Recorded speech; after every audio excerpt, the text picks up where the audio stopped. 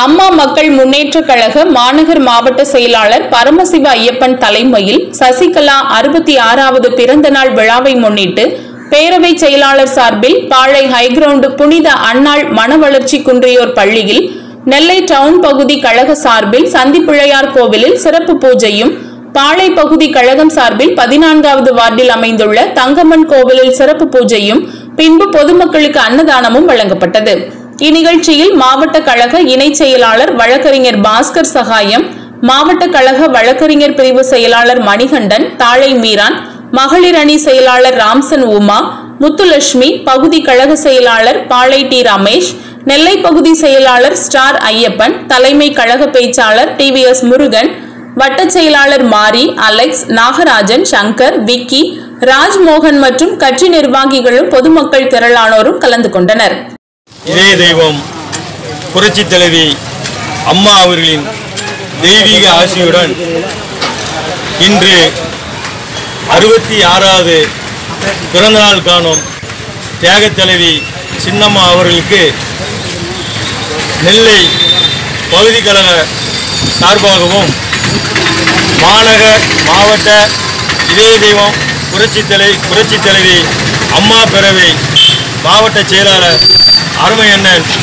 சுரேஷ்குமார் அவர்களின் ஏற்பாட்டின் பேரில் சந்தி விநாயகர் கோவிலுக்கு இன்று சிறப்பு பூஜையும் பிரசாதமும் வழங்கப்பட்டது. இதற்கு எங்களுக்கு உறுதுணையாக இருந்து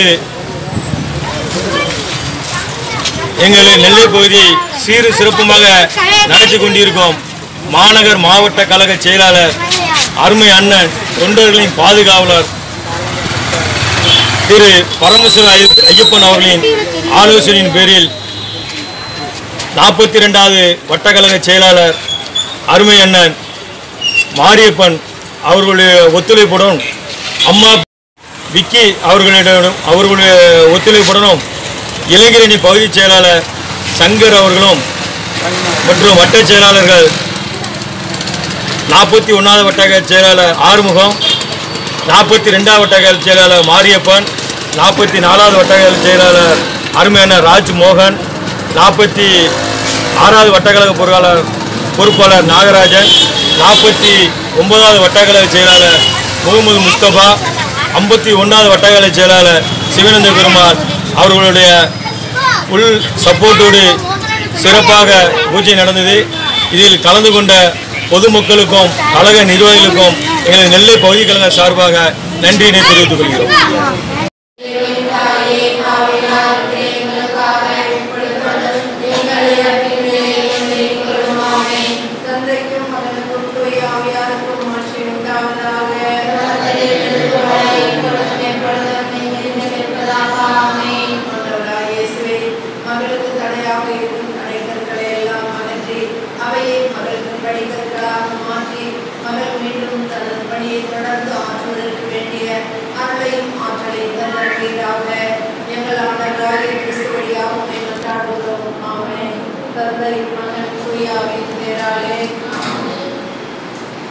রহমতুল্লাহ